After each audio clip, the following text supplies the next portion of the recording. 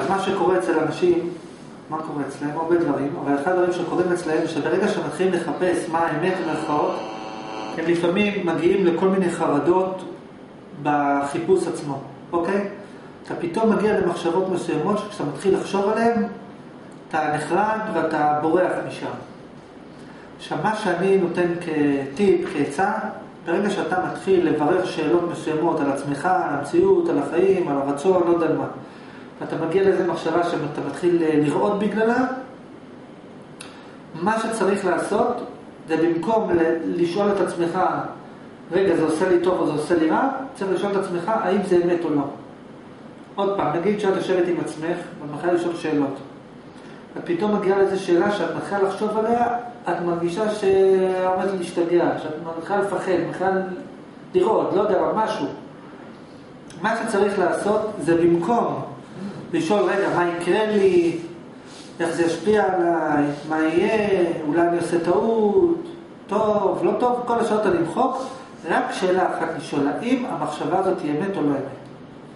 נגיד שבא לך פתאום מחשבה שאומרת לך, אתה משהו מסוים, או המציאות היא משהו מסוים, אתה מתחיל לפחד פחד מוות. מה שאתה צריך לעשות זה רק דבר אחד לשאול, האם זאת האמת? חוץ מזה שום דבר, לא אכפת לך זה יהרוג אותך, אם זה ישגע אותך, אם זה יגרום לך לקפוץ מחר, כלום לא אכפת לך. אני רק דבר אחד שואל, האם זאת האמת?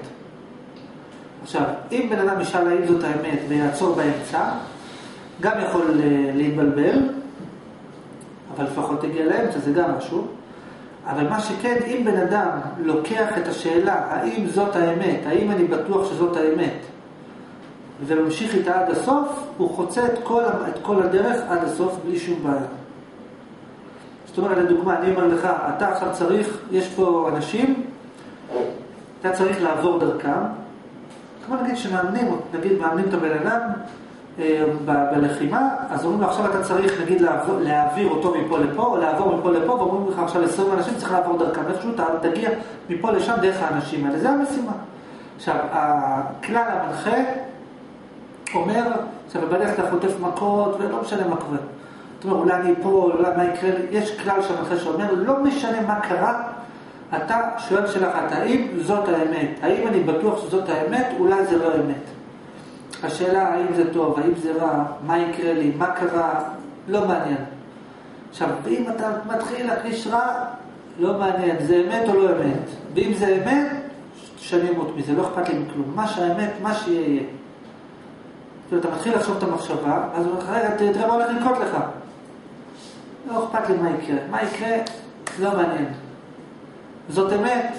אם זאת אמת, זאת אמת. לא אמת, לא אמת. זהו. זה הסיסמה לחצות את הגשר. מה?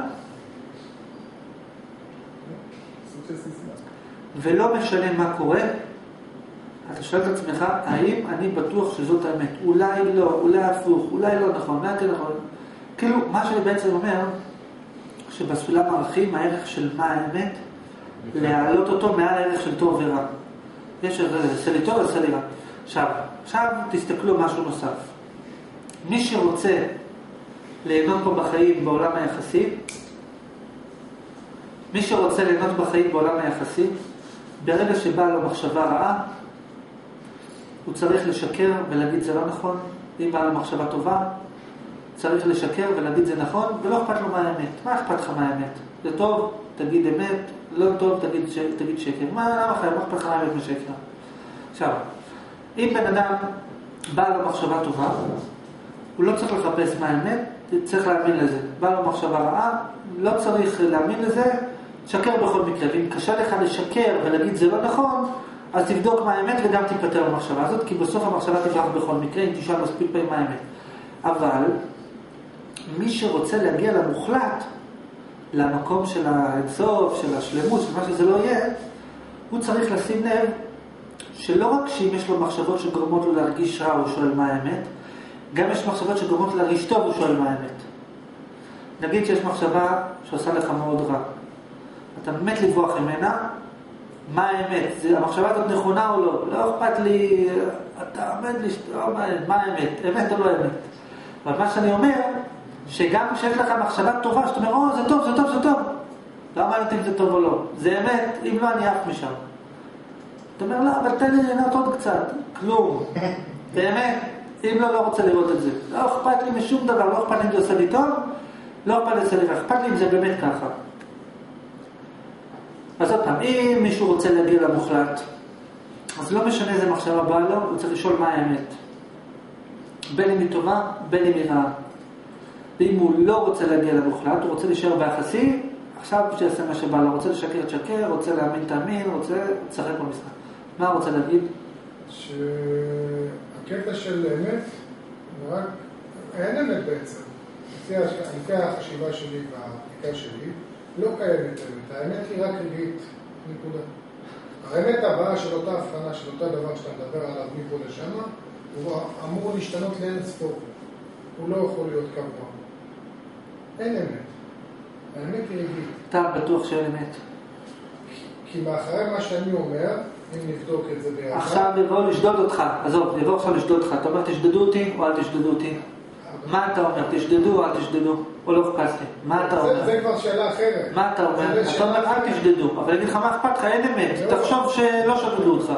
זה פונקציה אחרת. למה? לשדוד אותי. זה? סוג של תוצאה מסוימת, סוג של מעשה לתופעת לוואי מסוימת שאמורים לבצע. אבל הקטע הוא אם שדדו אותי או לא שדדו אותי, אם באמת היית- שדדו אם אותי. באמת היית חושב- זה לא נחשב שדדו אותי. אבל אין לך אני- כסף אני- בכיס. אבל אין לך כסף, תקשיב, אתה עכשיו תלך למכולת בלי כסף בכיס? לא. אוקיי. עכשיו, אתה יכול להגיד, אבל מה אכפת לי? אתה, אם אתה רעב, אל תאכל, תגיד, לא נכון, אני, אין אמת, אני רעב, אני שבע. אתה מתכוון להגיד שאין, שהאמת, הבן אדם כל הזמן רואה משהו אחר. נכון. בסדר, אבל אני מדבר על משהו אחר, אני מדבר ביחס לאותו רגע. ביחס לאותו רגע, נגיד שיש לך מחשבה שאומרת לך, שרע. החיים שלי לא שווים כלום. אוקיי. פתאום באה לך מחשבה כזאת. והמחשבה גם מלחיצה אותך. אתה צריך להגיד, רגע, מה האמת? באמת החיים שלי לא שווים כלום? אם הם לא שווים כלום, אני אמשיך לחשוב את זה, לא אכפת לי שזה עושה לי רע. הכוונה היא שלפעמים אתה מתחיל לחשוב על משהו, ואתה נלחץ ממה שאתה חושב. נכון, בגלל שאני מתייחס אליו ביתר ל- לתופעה שלו, לתהליך שלו. אני מזדהה עם התהליך שלו, אז אני מז- מזדהה איתו, אז אני גם אה, מביע על זה... יש מחשבות מסוימות שאתה לא רוצה לחשוב. לדוגמה, אתה לא רוצה לחשוב שאתה לא שווה כלום. אמת. יפה. כרגע, כרגע, אם אני ארשום שלט, אני לא שווה כלום. אתה מסוגל לחשוב את המחשבה הזאת, לא שווה כלום, ולהזדהות איתה ולהרגיש את זה, או שזה צריך רע? אני יכול כאן לפרוט אותה. לא לפרוט אותה, להרגיש אותו, לחוש בלב, אתה לא שווה כלום, אני אפס. אוקיי. גרוש, לא שווה פחות מגרוש. כלום. סתם, זה.